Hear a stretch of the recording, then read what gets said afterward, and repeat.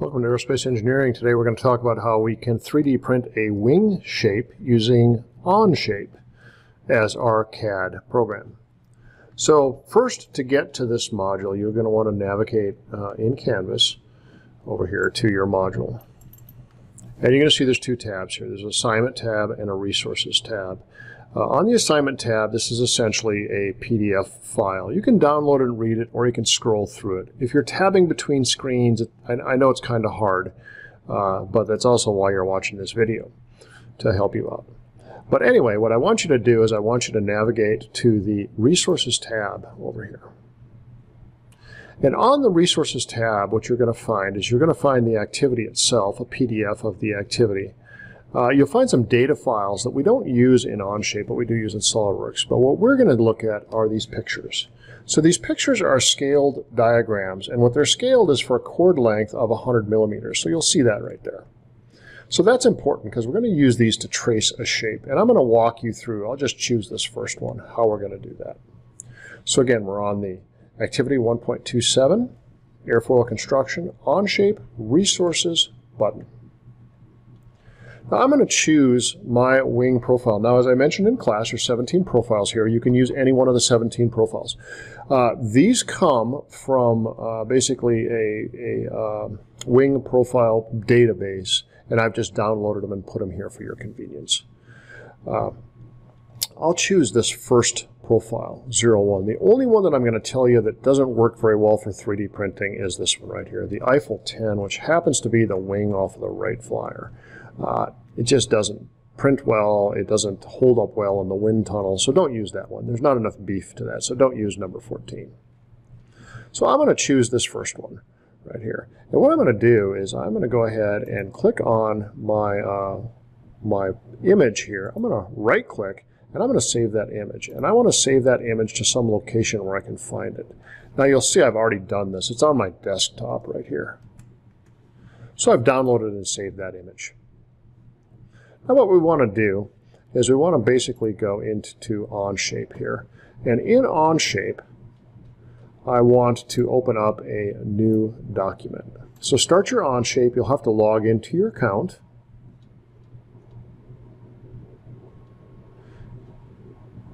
And get rolling here. What I'm going to do is I'm going to go create a document and I'm going to give this a name. And to keep them straight when you submit them to me, please use your last name. So I'll use my last name, and then I'm just going to call it my wing, because that's what it is. Now, in this document, when it first opens up, the first thing I want to do is I want to come up here to the three bars, and I want to set my workspace units, to millimeters. This will make my life a lot simpler. Now, if you mess this up and you give me an STL file that's all whacked out, we're not going to be able to 3D print it. So you've got to be millimeters here, and I'll show you another place where you got to be millimeters. So now I've got my uh, file started. I'm going to start a sketch,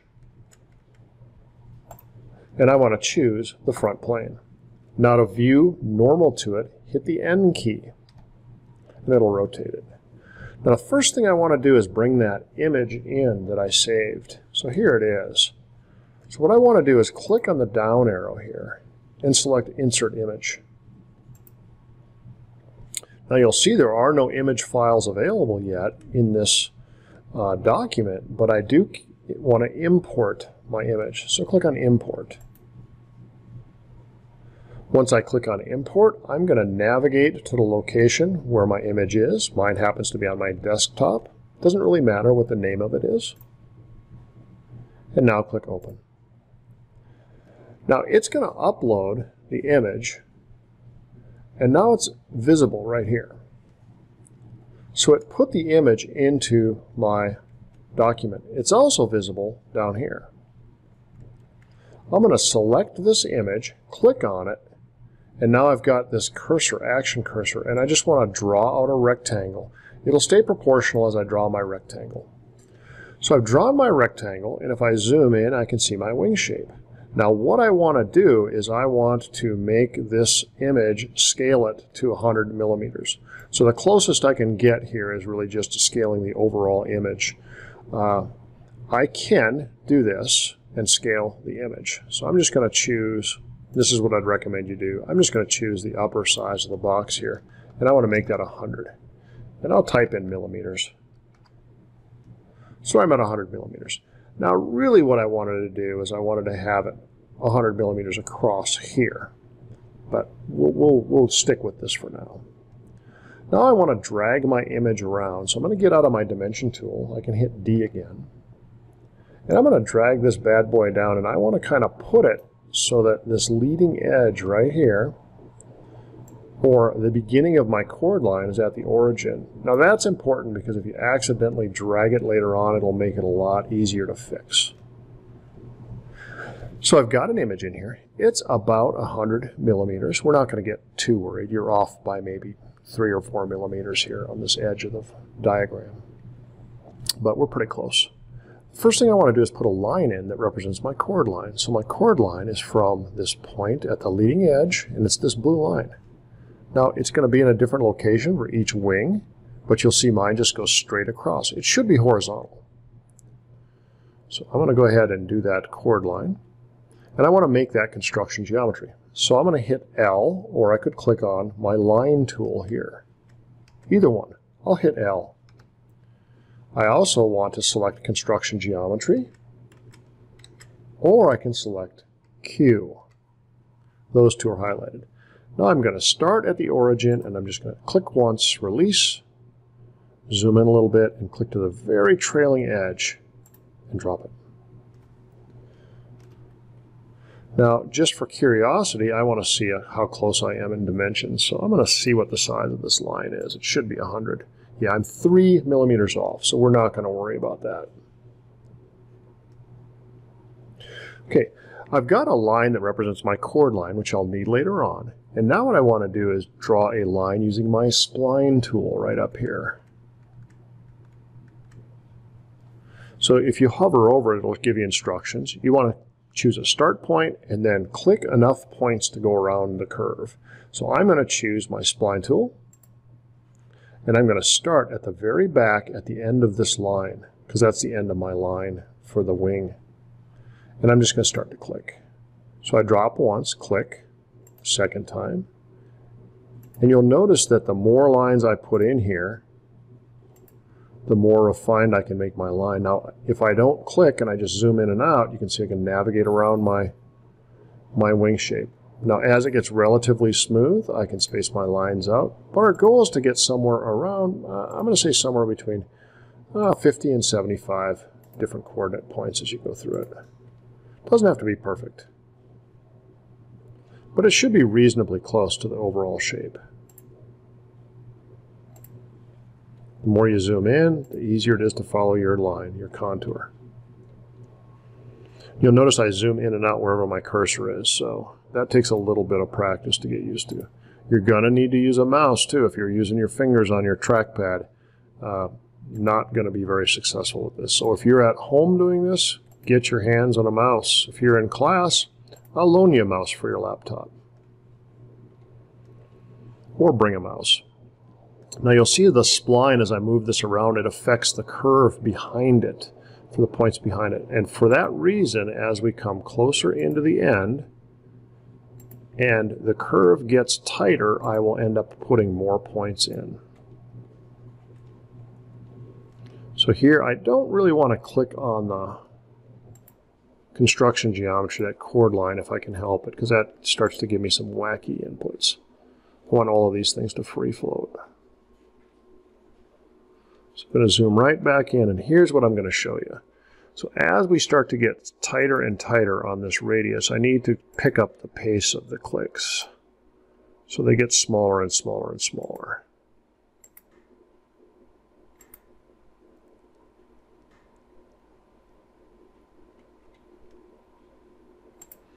And you'll see I get a little wackiness there at the front. But I'll fix that here in just a second.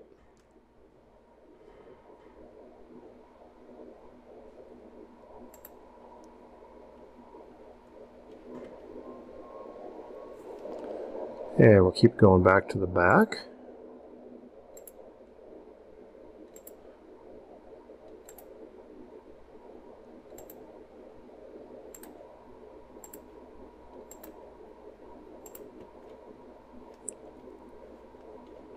You'll notice I put my cursor off to the side when I want to zoom out. I don't know how many of those, I, how many points I have. I'm going to say I probably got in the 50 range. Now, as I come right back down in here, this is where I want to be sure and connect those two dots, okay? I want to connect those two dots. Okay, now I'm going to just go through and look at my entire shape here. Now I'm using my mouse wheel to scroll in and out.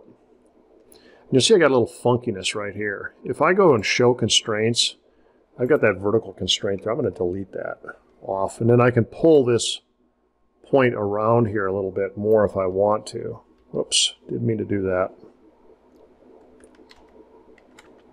Now if I want to edit a specific point, I can choose spline point and then I can add an extra point in here. And it looks like I probably got to add an extra point or two. Uh, and I probably got to add one here. Then I can pull that point in or out, however I want to do it. I've got to get out of my add points, but now I can move that point around. And I'm going to pull that line in there. This one I'm going to pull down a little bit. So you can see you can go in after the fact and fix it. So I'm basically just smoothing out my curves. Now, in the big picture, these moves that I'm making are, are sub-millimeter moves. Uh, you're not going to notice it too much. You'll notice it if it's a giant deviation from the line, but these are not giant deviations. These are small. So I'm just fine-tuning it. So get it as good as you're, you want when you're happy with it. You'll submit it and I'll take a look and I'll tell you if you're way off. Try and stay on the line or pretty darn close to it so you get an accurate representation. So there's my wing. So I've got my sketch done and I'm all set. And I'm going to go ahead and go straight into extruding it. So I click on the extrude button right here. And in this, uh, I've got a solid body. If I don't have a solid body, it means it wasn't closed. So I'm going to choose, instead of blind, symmetric, which will extrude it out both directions, and I want 100 millimeters. That's as big as will fit in our, in our wind tunnel, and then just hit the check mark. Now once you do that, you got a wing shape. Now the wing physically sits in the wind tunnel and the wind is blowing across it in this direction. So in order for us to be able to mount it, uh, it doesn't really matter, but I just say put it on the front face here we're going to make another sketch.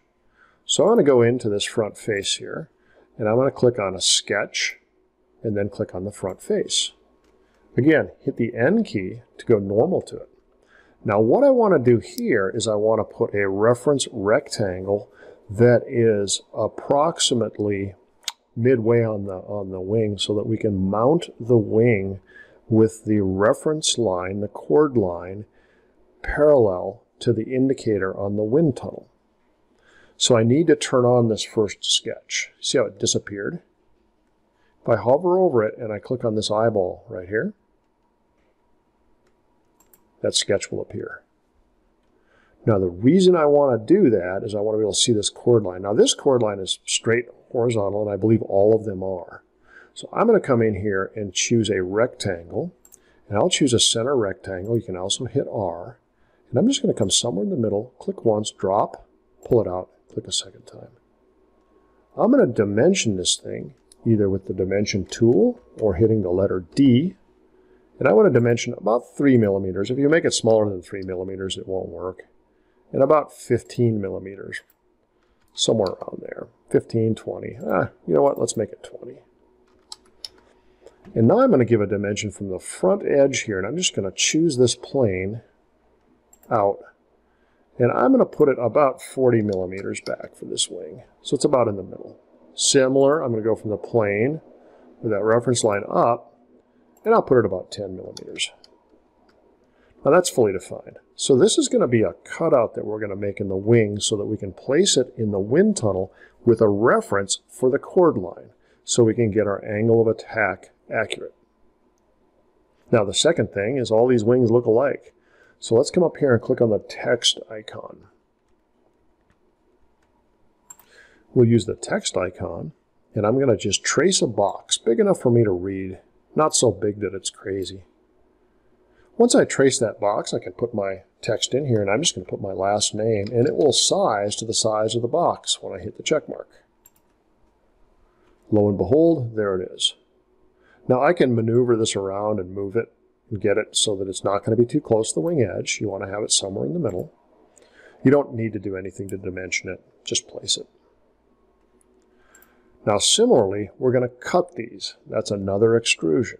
So we click on the extrude button, and because I've got the sketch selected, it selects everything in the sketch.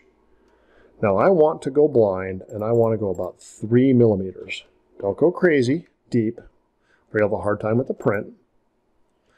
And I am going to do a remove right here. That cuts it. Now roll your part over to the side and you can see the direction. I can change directions. If I go in a direction where there's nothing to cut, it's going to turn it red.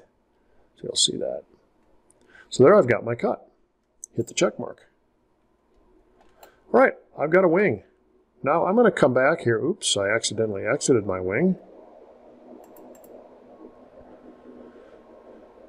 There we go.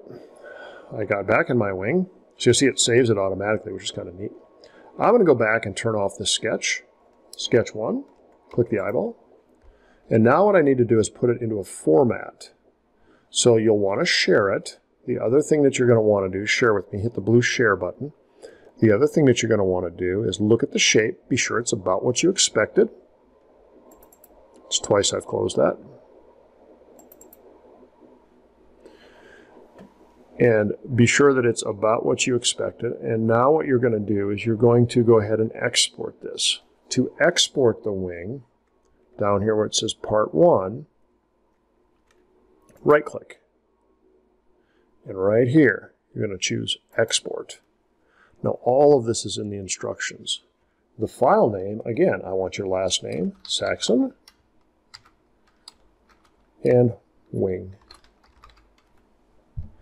Put it in a .stl because we're going to learn how to slice that here in just a minute. Binary, units should be millimeter.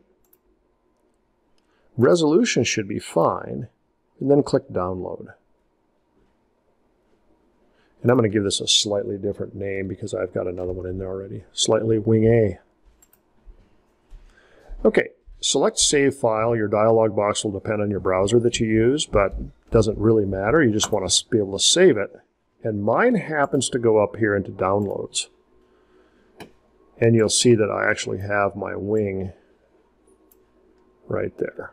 This is the file that I'm going to submit for this module. You're going to submit your STL file.